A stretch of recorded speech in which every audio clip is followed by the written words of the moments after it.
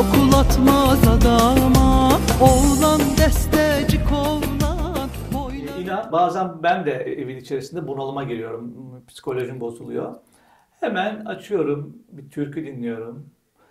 Özellikle de senden dinlediğimde moralim yerine geliyor. Bak ben onu söyleyeyim. Türk insanı da Ne mutlu. eminim bu şekilde. Peki senin türkü dinlemekten zevk aldığın kimler var? Ee, tabii ki en başta Neriman Altındağ tüfekçi diyeceğim.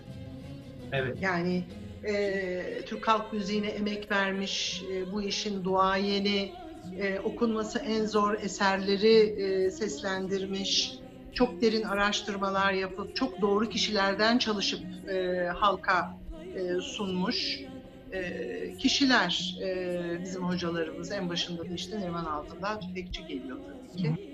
E, Neriman hocamın yeri e, hiç kimseyle mukayese e, olmuyor. Üzgünüm. E, ama tabii e, daha sonra e, benim kendi jenerasyonumdan e, çok arkadaşım var başarılı. E, hepsi de e, çalışkan e, ve gerçekten bu işi yapmanın sorumluluğunu üstlenmiş e, kişiler. E, ama bunun yanı sıra tabii işte hani dün duyup bugün e, ben de okuyayım bu türküyü diyerek ortaya çıkan kişilerimiz de oluyor.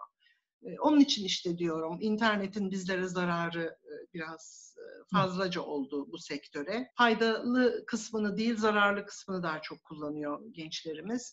E, Dikkat ederseniz de son kuşak, son jenerasyon gençlerden e, hiç böyle büyük bir isim çıkmadı. Hmm. Yok.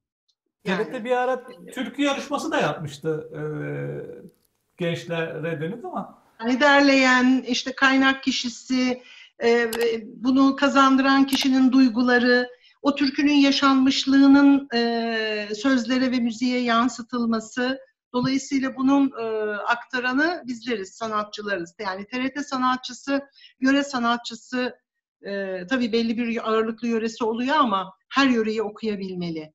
E, her zaman bunu söylerim. Bizler aktaranlarız. Bizler sanatçıyız.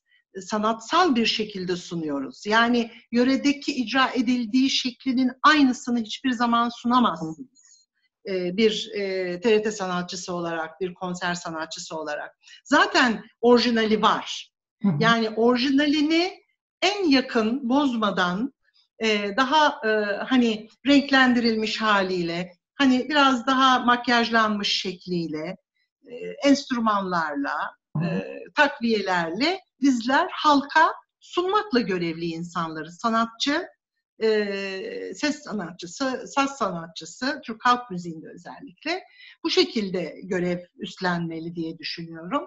E, dolayısıyla e, hepsinin yani yörelerin özellikleri işte onun için halk oyunları bilmek çok önemli. E, bunu söylerim.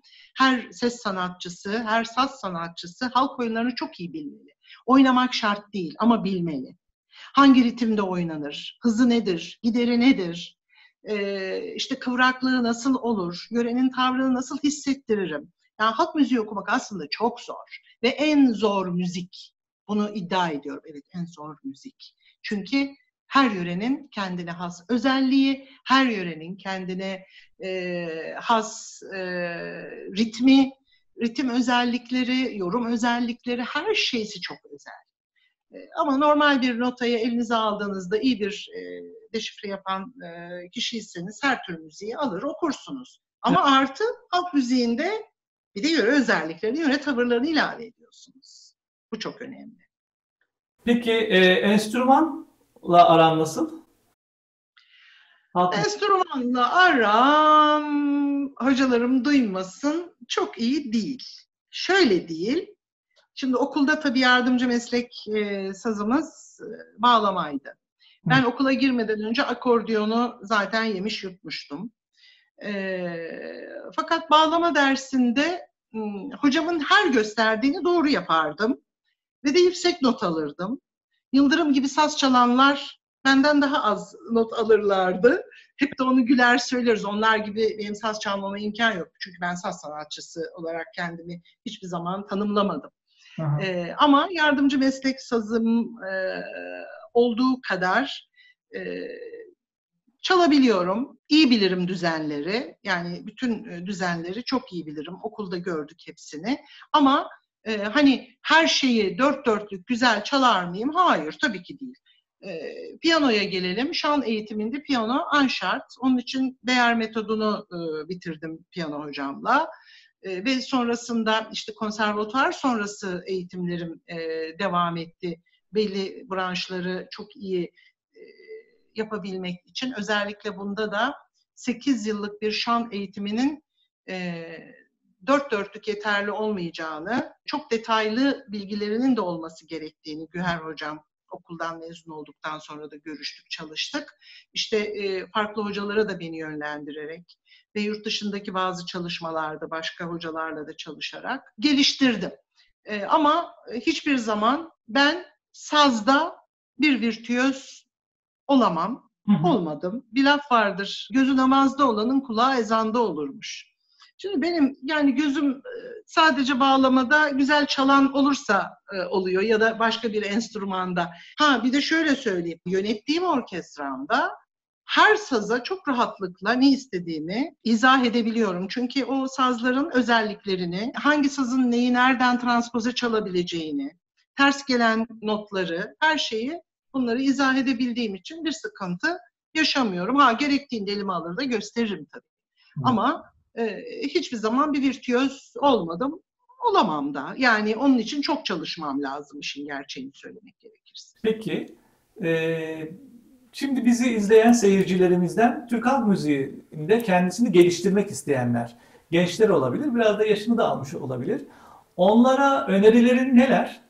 Yani Türk halk müziği dalında özellikle çalışmak isteyenlerin çok kitap okuyarak ya da gezerek, görerek, araştırarak Türk halk müziğini e, meydana getiren ögeleri yani neleri? Halkın yaşam şeklini, yöresel özelliklerini, coğrafi konumunu, o icra ettiği e, müziğin danslarını, yöresel yemeklerini, halk tabirlerini, atasözlerini, her şeyini baştan çok iyi araştırarak gitmeleri, doğru sanatçıları dinleyerek e, yöresel tavırları edinmeleri ve de ben e, şunu e, özellikle söylemek istiyorum. Hani diyorlar ya işte kulağı olduktan sonra, kabiliyeti olduktan sonra eğitime gerek yok. Hayır. Eğitim derken biz sadece konservatuar eğitimi demiyoruz. Eğitimin dışarıda sürdürülüp işte folklor kurumunda diyorsun ben de gidiyorum, e, eğitim alıyorum, çalıyorum ve de okuyorum vesaire. Şimdi e, orada görülen eğitim, orası da eğitim yuvası. Orada orası da bir eğitim e, merkezi Türk halk müziğini, halk oyunlarını doğru şekliyle öğretiyor gelen kişilere kaç yaşında olursa olsun. Ne bileyim mesela benim korolarım var. Dört tane korom var. Büyük kulüpte çalıştırdığım bir korom var. Taşkın Doğan Işık Türk Halk Müziği korom. Acarkent Türk Halk Müziği korom ve de FAMI Türk Halk Müziği korom. Bunların hepsinde e, türküleri öğretirken yöresel tavırlarıyla ilgili örneklemeler de gösteririm. E, notayı e, bilmeyen varsa içlerinde yine de notayı biliyormuşçasına izah ederek anlatırım. Çünkü kulak bir kulakta bir kulak dolgunluğu oluyor. E, kişi kendisini e, biraz daha e, zorunlu hissediyor öğrenmeye ve gayretle o işin daha fazla üstesinden geliyor. Ne olursa olsun amatörce de yapsak, yapacağımız işi doğru yapmalı. Hani bir laf vardır, ben eğlenmeyi de ciddiye alırım der birçok insan. Evet ben de eğlenmeyi ciddiye alırım. Çünkü orada bir adabı usulü var. Dağıtmanın bir alemi yok değil mi? Bir kontrol vardır, bir otokontrolü vardır insanın. Yani hayatınızda her şeyin e, bir ciddiyeti olduğunu, bir e, prensibi olduğunu, bir yemek yapmanın da prensibi var değil mi mesela? E, Oraya da geleceğim. Türkü okumanın kuralları var. Her şeyin bir kuralı var. Yaşam kurallardan oluşan bir şey zaten. Kuralsız olamazsınız çünkü bir toplumun parçasısınız. Dolayısıyla yani bu kurallara uyulduğu takdirde doğru icraat e, zaten yavaş yavaş başlıyor.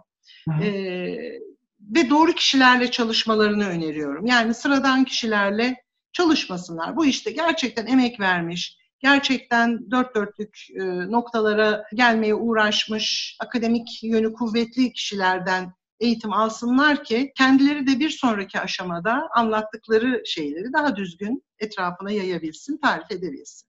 Ez cümle diyoruz ki e, her şey normale döndüğünde sevgili seyirciler önce Nursaç Doğan Işık hocamın korolarına yönleniyorsunuz. Türk Halk Müziği'nde kendinizi geliştirmek için. Folklor Kurumu'nun da bu konuda büyük bir eğitim ocağı olduğunu e, dile getirelim. Hem Türk Halk Müziğimiz e, konusunda eğitim almak isterseniz ya da halk oyunlarımızda, geleneksel el sanatlarımızda halk tiyatrosu bölümleri de var Türk Folklor Kurumu'nun. Orada eğitim alabilirler. Sevgili Nursaç Doğan Işık Türk Folklor Kurumu'na halk oyunlarında girmişti. Oradan birincilikle mezun olmuştu. Ben de halk oyunlarından mezun oldum. Ee, çok önemli bir eğitim kurumudur orası. Ayhancığım, e, bilmiyorum e, senin döneminde de aynı şeyler oluyor muydu? Ben bize halk oyunları çalıştıran öğretmenlerimize inanılmaz saygı duyarak korkardım yanlış yapmaya ki acaba e, hocamın gözünden düşer miyim? Bak ne kadar önemli bir şey. Korkardım şey gelirdi mesela Şinasi Hoca gelirdi Artvin'e zıpla dediği zaman daha çok zıplardım ki e, Selam olsun buradan. dört dörtlük yapabileyim. Selam olsun buradan. Hepsi için geçerli bu tabii. Yani e, büyük bir saygıyla onların yaptığı figürlerdeki vücudunun her bir kıvrımının estetiğini e, çünkü her yörenin nasıl ki hançeresi varsa, gırtlak nameleri varsa oyununda da vücudun nameleri var. Vücudun jestusları, e, bedensel ifade o kadar önemliydi ki ve bunu e, hakikaten dört gözle mesela e, her yöreyi aynı estetikle oynayamazsınız. Olur mu? Olmaz. Aynı estetiğe sahip olursanız bütün yörelere aynı gibi olursunuz. En güzel hangi şey, yöreyi oynuyordun? Bilmem hocalara sormak lazım bunu. Sorarız. Ama şöyle söyleyeyim yani benim e, gönlümde e, annemin e, bulunduğu yöre e, Azerbaycan, annem Azerbaycan Genceli, babam da Giresun Tirebolu. E, her ikisini de iyi oynadığımı düşünüyorum. E, diğer yörelerde de çok başarılıydım. Ne yalan söyleyeyim hep e, çoğunlukla ekip şefi yapıyordu hocalarımız. E, ya da böyle odak noktalarda oynatırlardı, koreografide e, zor noktalarda. E, çünkü dansa yatkınlığım gerçekten çok fazla olduğu için ve de sevgim de çok yüksek olduğu için çok severek oynadım bütün yöreleri. Ama ikisinin yeri biraz farklıdır. E, hatta bir anım var Cavit hocamla Karadeniz. Evet, Cavit Şentürk hocam. Aslında. Her programında laf dönüyor dolaşıyor. Bir Cavit Şentürk'e geliyor. Çünkü konservatuvarda Türk Folklor Kurumu'nda evet, da. Evet. E, Türkiye'de bence sayılı e, kişilerden birisidir Cavit Şentürk hocam. E, Karadeniz, e, Trabzon folklorunun halk oyunlarının en önemli duayenlerinden e, biri. Katılıyorum. Evet nedir anı? Muhteşem bir insan ve çok sevdiğim bir insan. Canım o benim. Ee, şimdi Karadeniz ekibine seçti beni. Ben tabii çok sevindim. Oynuyoruz. Bir gün bana böyle yaptı. Haydi Nursaç gel bakayım. Bunun türkülerini okurken oynayacaksın. Ben dedim şey yapmam. Okurken oynamam. Hayır dedi. Sen dedi konservatuar okuyorsun. Nasıl oynamazsın? Mümkün değil dedi. Nefes nefese kalırım. Sesten ayrılırım falan. Çok kötü olur. Mümkün değil. Hayır dedi. yemin ederim hem gözümden yaşlar akıyor. Hem ben yükledim kıratıma, tori kartamasını. İlk bunu o Cavit Hoca'dan öğrenmiştim. Bana bunu haydi dedi ben okuyorum tekrarla. Birinci ilk satırları o söylüyordu. Dönüşlerini, reprizleri ben yapıyordum. Hı hı. Ee, diye diye diye diye hakikaten de ben okurken de oynamayı Cavit Şentürk hocamın sayesinde edindim. E nitekim sahnede hem türkü okuyorsunuz hem oynuyorsunuz. Ayrı bir teknik o. Yani. Ayrı bir teknik. Evet, evet aynen. Yani Cavit hocama buradan müteşekkirim gerçekten bana orada e, böyle bir e, kabiliyet de edindirdi. Nitekim Cezayir seyahatimiz oldu bizim folklor kurumuyla. Evet, yurt dışı ee, seyahatleri çok e, önemli. Oradaki anılarını da dinlemek isterim. Neler oldu? Vallahi o yurt dışına gidişimiz biraz zaten enteresandı. Ben lisedeydim. Ee, benim babam dedi ki hayır asla gidemezsin ben küçücük kız dedi. Şeye mi yollayacağım dedi e, Cezayir'e. Başka bir ülke. O zaman her şey bu kadar e, bilinmiyor ki. Orası nasıl bir yer, nereye gideceğim, kimlerle gideceğim yani değil mi? Derken e, Mehmet Ergen, e, Arif Sağ, Evet. e, bir kişi daha geldi. Nazmi abi miydi? E, bir, dört kişi geldiler beni istemeye. beni Cezayir'e istemeye. Ondan sonra böyle de bir espri yaptılar. Kısmetse mıydı mı tabii- baba? Biz bir düşünelim diye. Vallahi. Babam tabii e, Arif Hoca da o- orada olunca e, Mehmet Ergen de dedi ki bakın dedi her şeyiyle bana emanet. Ben de gidiyorum. Grup başkanı benim dedi başlarında. Hiç merak etmeyin dedi. Her şeyiyle bana emanet deyince babam Mehmet abiye beni Mehmet Ergen'e emanet etti ve Cezayir'e e, çok kısıtlı bir kadroyla gittik. Dört kız, dört erkek. E, enstrümanistlerimiz. E, düşünün e, Mehmet Ergen e, bana sahnede aynı zamanda saz çalıyor. E, ben okuyorum. Solistim aynı zamanda. Bütün yörelerde oynuyorum. Kostümleri üst üste giydiriyor kızlar bana. Yöre aralarında acele acele soyuyorlar. E, sahneye çıktığım için e, koştura koştura herkes beni giydiriyor falan. E, çok keyifli bir seyahatti. E, çok zor bir seyahatti. Oradan döndüğümüzde Yonca e, Durmaz İnceoğlu Hı. e, ikimiz de e, aşağı yukarı 10-12 kilo vermiştik. Ailelerimiz bizi tanımadılar. Üst üste giyinince çok zayıflamıştık. Üst üste giyinince zaten bir terliyorsun, iki performansın var. Sürekli bir koşturma halinde. Festivaller ayrı bir güzel ama değil mi? Yurt dışına gittiğimiz festivallerin tadı ayrı bir şey. Gerçekten çok başka oluyor. Evet. Yani bir de Türkiye'yi temsil ediyorsunuz ya o duygu, o vatan e, duygusu, milliyetçilik duygusu, o sevda, o sevgi, o gurur bambaşka. Evet. Ee, ne burcusun? Koç burcuyum, yükselenim de Başak. Öyle mi? Peki özelliklerini e, taşır mısın? Bakıyor musun arada ben bu özelliklere uyuyor muyum diye?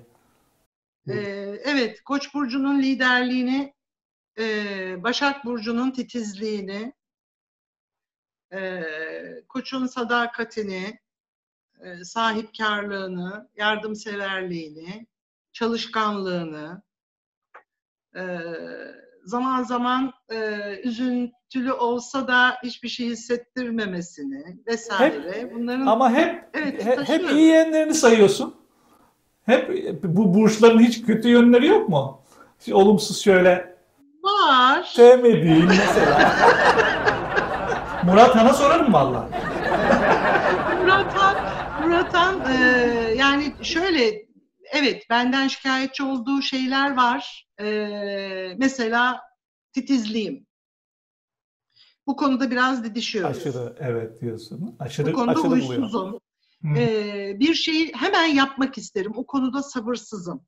Ama bir şeye e, karar verip birilerinin bir e, hadise ortamında da son derece sabırlıyım. E, şimdi e, sabırsızlığım e, hani şu, şu yönde çabucak hızlıca halletmeye çalışıyorum bir şeyi. Hemen olmalı. Bir şey yapılacaksa o an olmalı. Yarına kalmamalı. Biraz o huylarım herhalde yani beraber yaşayınca biraz yani kötü gibi. Murat Han neler yapıyor bu arada? E, Murat Han e, şu anda mm, e, master e, yapıyor. E, Murat Han e, lisede Saint Benoît'ı bitirdi. E, Fransızca okuduğu için de Yeditepe Üniversitesi'nde Fransızca e, siyaset bilimi ve uluslararası ilişkiler bölümünü okudu Fransızca olarak. Böyle hayat hep Fransızca ile Fransız kültürüyle e, haşır neşir olarak.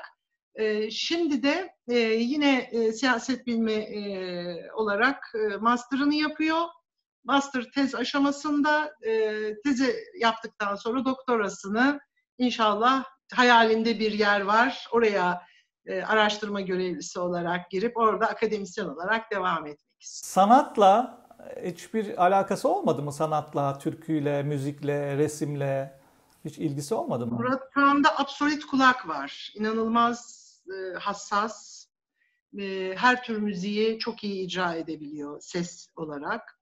O da annesine benzemiş, babaya rahmetli Taşkın'a e, saz konusunda benzememiş, saz konusunda anneye benzemiş, tembel saz konusunda. Ama e, ses olarak e, inanılmaz e, bir yorumu, e, çok güzel bir sesi var. Hani kuzguna yavrusu güzel gelir derler. E, pek kuzgun işi değil gibi geliyor bana. Evet. Ve Armut e, birazcık hani, Dibine düşmüş. olunca, eğitmen olunca e, birazcık armut dibine düşmüş gibi gözüküyor ama sanata yönlensin istemedim Ayhancığım. Programımızın başından beri kendini ifade ederken bazen de gönül kırıklıklarını da ben görebiliyorum, hissedebiliyorum satır aralarında. Onu canından çok sevdiğin evladının da bu gönül kırıklıklarını yaşamasını istemiyorsun. Anlayabiliyorum seni. E, Çok doğru. Ne diyelim? Gönlünü kıranları e, Allah'a havale edelim. Hiç kimse yaşattığını yaşamadan bu dünyayı terk etmezmiş. Evet, çok doğru. Ee, onun için e, hayatım boyunca e, kişilere dikkatli davranmayı e, hep e, kendime hedef olarak seçtim. Kırmamaya çalışıyorum. Elimde olmadan birilerini kır, kırdıysam her, her zaman özrüm e, dudaklarımın arasından çok rahat çıkar. Çünkü insan istemeden kırabilir de. E, ama e, önemli olan isteyerek, kasıtlı, bilinçli olarak zedeleyerek, e, kırarak e, insanları e, üzmemek. E, neticesinde e, bizim camiamız biraz nankör, biraz zor, biraz dedikodulu, biraz e, yani zor bir ortam diyeyim açıkçası. İnsanın olduğu her yerde bu var. Farklı meslek dallarında da vardır ama tabii sanat Mutlaka. hassas oluyorlar. Ruhları farklı e, e, yaratılmış oluyorlar. Dolayısıyla o yüzden zaten sanatçı oluyorlar. E, onlar birazcık daha kırılgan oluyorlar. Ben o konuda seni çok iyi anlıyorum. Sevgili Nursaç, çok güzel yemek yaptığından bahsettin. Tabii bu kadar titiz ev kadar. En güzel yaptığın yemek e, ya da Murat Han'ın bayılarak yediği bir yemek. Onunla ilgili bize tüyo verir misin, bilgi verir misin? En güzel hangi yemeği yapıyorsun? Hmm, ne kadar zor. Şimdi ben mutfağı çok severim. Yani mutfak işini, yemek yapmayı, pasta börek yapmayı, her şeyi çok severim. Mesela bu tatil e, gibi olunca, evde kalınca bu koronadan dolayı e, Murat Han benim mutfağımı çok beğeniyor, seviyor. E, ama en çok sevdiği yemek mantı. Hmm. E, mantıyı ben rahmetli e, babaannesinden öğrenmiştim. E, görevi dolayısıyla Taşkın'ın babasının görevi dolayısıyla Kayseri'de Kayseri. e, dünyaya gelmiş zaten Taşkın. Kayseri'de bir süre e, yaşamışlar. De, orada Kayseri mantısını öğrenmiş kayınvalidem. Ondan Minik minik hani. Minik minik. Aynen. Aynen. Şöyle bir kaşığa kaç tane sığacak? Bir kaşığa da bilmem kaç tane sığacak diyorlar. Ee, Evet öyle. Gerçekten de öyle. Ve e, gerçekten çok güzel oluyor. Yani be- ben yapıyorum diye değil. ama Çok çok da çabuk bitiyor değil mi? mantıyı. Bunun haricinde diğer yemekler yani dünya mutfaklarına da çok meraklıyım. Ee, sofra düzenini çok severim. Estetiği çok severim. Ee, lezzetsiz e, yemeği hatta bir gün Murat'an bir arkadaşına e, yatıya gitti. Hı. O gece orada kalacak işte. Hep arkadaşı bize geliyordu. O da demiş ki ya Murat'an hep sen- ben sizde kalıyorum. Bir kere de sen bizde kal bak annemle babamla da işte bir arada e, vakit olur dedi. Murat'an gitti arkadaşının evine. Aa, bir baktım gece saat 10 Murat zil çaldı. Murat'an geldi. Oğlum hayırdır sen bu gece Karnım aç. arkadaşından. Anneciğim dedi çok açım bana yemek ver. Ben dedi senin yemeklerine alışmışım. Eyvah dedi ben dedi evlenince ne yapacağım dedi. Senin yemeklerini arayacağım herhalde. Dedim ki inşallah ileride eşin de güzel yemek pişirir. E, damak tadı e, iyi bir gurme. Evet. E, damak tadı çok yerinde e, ve çok yemek ayırt ediyor. Dolayısıyla lezzetli şeyleri çocukluktan beri alışınca hani ben de e, herhalde kendimi ona aa bak bunu da beğenecek misin karşında beğenen yaptığını takdir eden birileri olunca daha bir zevkle yapıyorsunuz. Ramazan'la ilgili e, bir mesajını alalım bizi seyredenlerimize e, dönük. Tabii, tabii bu süreç devam ederken bilmiyorum bizi ne, gelecekte ne bekliyor onu da çok bilemiyorum. E, duygu ve düşüncelerini almak istiyorum bu konuda. Valla şöyle söyleyeyim aslında e, Ramazan ayının e, oruç tutmanın nefse bir e, sınav olduğunu çocukluğumuzdan beri söyler büyüklerimiz, e, din adamlarımız. Nefis imtihanı, nefsimizin e, imtihanı gibi duyarız, biliriz. Ama bence e, bu e, nefsimize hakim olma imtihanını bu koronavirüs zamanı daha çok yaşadık gibi geliyor bana. İnşallah Ramazan ayı geldiğinde de gereksiz alışverişler yaparak e, gereğinden fazla israfa kaçan alışverişler yaparak kendimizi hasta etmeyiz diyorum. Çünkü e, bu bir nefis e, imtihanıysa azla yetinmeyi bilmek lazım. Biz e, biraz e, mutfak olarak geniş mutfağı olan e, Türk mutfağı özel bir mutfak. Evet hamur işleri çok fazla ama hamur işlerine hakikaten çok fazla yönelmememiz lazım. Ben dahil hamur işini çok seviyoruz. Seviyoruz bu iki kere iki dört. Ama e, mümkün mertebe bunu azaltarak e, yapmak. Hareket yok. Bir kere Ramazan'da e, hadi insanlarımız e, işe gidiyorlardı. Gün içerisinde hareketli e, yaşıyorlardı. E, bütün gün evde. Bir anda yüklenerek yemek. Allah evet. korusun e, kalp hastalıkları tetiklenebilir. Şeker hastalıkları tetiklenebilir. Onun için Sağlığımızı düşünerek Ramazan ayında da daha itinalı, daha dikkatli bir şekilde nefse hakimiyetimizi hatırlayarak e, şu anda bütün dünya çünkü aynı duyguyu yaşıyor. O duyguyu yaşayarak e, Ramazan'ı geçirmeliyiz diye düşünüyorum. İlk defa dünya birlik oldu. İlk defa dünya bir e, ölüm korkusuyla ve insanların müdahale fazla edemediği bir pandemi e, içerisinde birleşmek durumunda kaldı. Demek ki insanların bulunduğu yerde her türlü şey olabiliyor. Kardeşçe güzellikle yaşamak varken, dostça, kardeşçe, birlik beraberlik içinde yaşamak varken neden e, bu e, ayrılıklar olsun? Özellikle Türkiye, Türk devleti kendi içeri içimizde parti gözetmeden şu pandemi belasını inşallah defedip sağlıklı günlerde birlik beraberliğimizi tüm dünyaya ispat etme imkanını bulalım. Ee, öyle diliyorum. Yani bu birlik beraberlik zamanı çünkü. O parti bu parti zamanı değil. Ee, dostluk, kardeşlik, yardım zamanı. Çok zor bir süreç. Hakikaten zor bir süreç. Deminden beri güldük, söyledik, oynadık ama hani diyoruz ya e, gene atasözlerimiz, folklorumuz ne güzel. Gülerim söylerim ama oynaşım aklımdan çıkmaz demiş Anadolu'lu. Evet. E, evet, bizim şu andaki güleriz söyleriz ama oynaşımız şu anda aklımızda olan tek şey çünkü pandemi ve korona e, virüs belası. Onun için yani gülüp söylüyoruz ama bu, bu sıkıntı hep aklımızda, hep tedirgin eden boyutlarda. Birliğe, beraberliğe, sevgiye, dostluğa, sanata davet ediyorum tüm sevdiklerimizi, tüm dostlarımızı, tüm milletimizi sevgi ve saygıyla selamlıyorum. Her şeyin en güzelini e, ama şöyle mütevazi bir şekilde yaşamaya davet ediyorum. Ben de katılıyorum. Sevgili Nusrat, biz programımızı senin en sevdiğin türkünle, onun klibiyle bitirelim istiyoruz. Hangi türkünü hediye etmek istiyorsun? Programımızın sonuna onu ekleyelim. Aa, çok güzel. Peki, o zaman e, şöyle hikayesi olan bir türkü olsun. Olur. Ee, ilk aklıma Ala Gözlüm e, geldi. E, Ala Gözlüm senden ayrı geceler.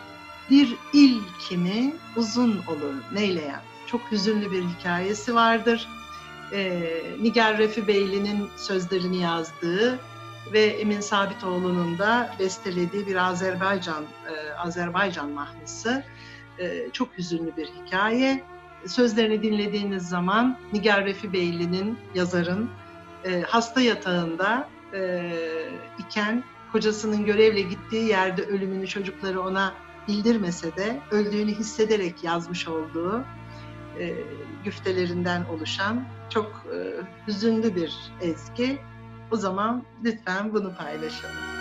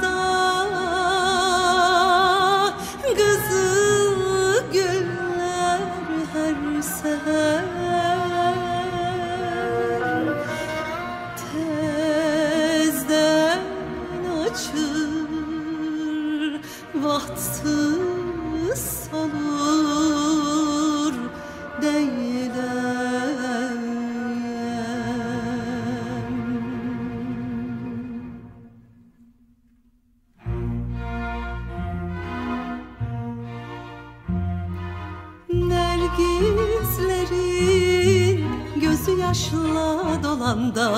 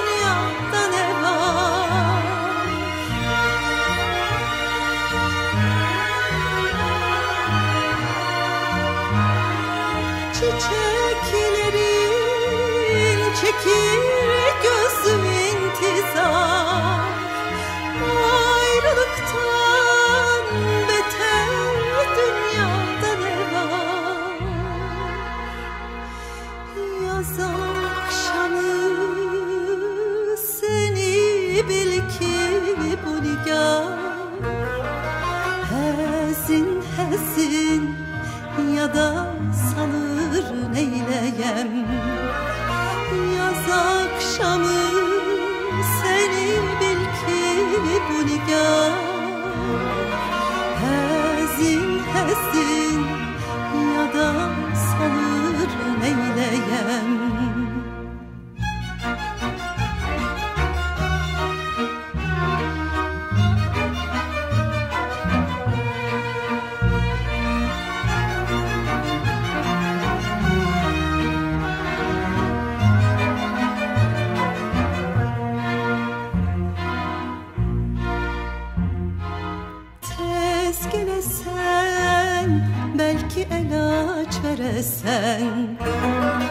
Sümbülleri saçın yılı paresen Çiçekleri gelip özünü deresen Yoldanı bakışların eyleyem